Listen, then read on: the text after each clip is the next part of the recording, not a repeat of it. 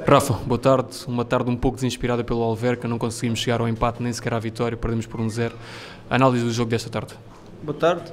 Sim, foi algo desinspirada, não entramos, não entramos bem no jogo uh, e pagámos caro por isso.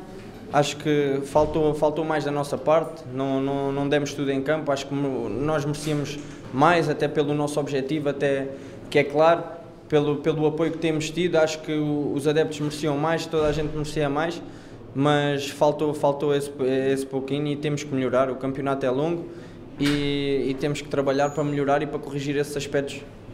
O Alverca entra bem na primeira parte, entra também muito bem na segunda parte, com oportunidades de golo, mas a segunda parte acaba por ser melhor do que, do que a primeira. Falta algum pragmatismo, talvez, no, na última fase de construção, quando chegamos perto da baliza? Sim, é isso mesmo. Eu acho que, eu acho que falta, falta fazer. Acho que criamos muitas oportunidades, mas, mas não basta criar, temos que as finalizar. E quando não o fazemos, pagamos caro. E o, o adversário Uh, foi matador, acho que lembro-me de dois remates, dois remates à baliza, se não me engano, fizeram o gol. Nós, nós fizemos 5, 6 oportunidades, tivemos de gol e não conseguimos finalizar. Acho que isso, isso dita o resultado e dita o desfecho do jogo.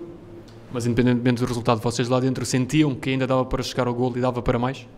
Sim, acho, acho que houve uma mudança clara de atitude após o gol sofrido e essa, se essa atitude se mantém desde o início do jogo, acho que o desfecho teria sido outro do jogo, mas, mas é trabalhar, é como disse, é trabalhar, nós temos que melhorar, temos muito a melhorar e, e vamos ter esta semana para o fazer e com certeza vamos corrigir isso e, e estar melhor no, no próximo jogo contra o Torrense.